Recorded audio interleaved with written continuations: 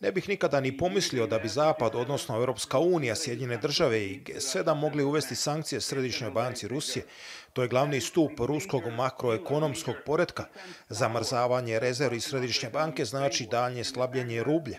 Ruska rublja temelji se na dvije stvari, tokovima kapitala i cijeni nafte, a cijena nafte vraća se na razinu iz 2014. gdje je i današnja vrijednost rublja. Naravno, Središnja banka Rusije poduzela je brojne mjere.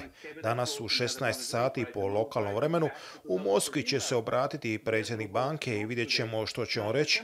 Poduzete mjere pomažu da se burza održi, ali sve u svemu činjenica da je zamrznuta polovina ili čak 60% deviznih rezervi teško ostavlja prostor da će Središnja banka moći iskoristiti i drugu polovinu.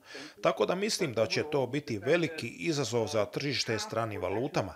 Za sad Središnja banka nije poduzela samo tržišne, nego i neke netržišne intervencije, poput zabrane ruskim brokerima da izvrše zahtjeve stranih klijenata po pitanju prodaje ruskih dionica. Ipak vidjet ćemo što će se dogoditi. Ovo je doista nepoznato područje.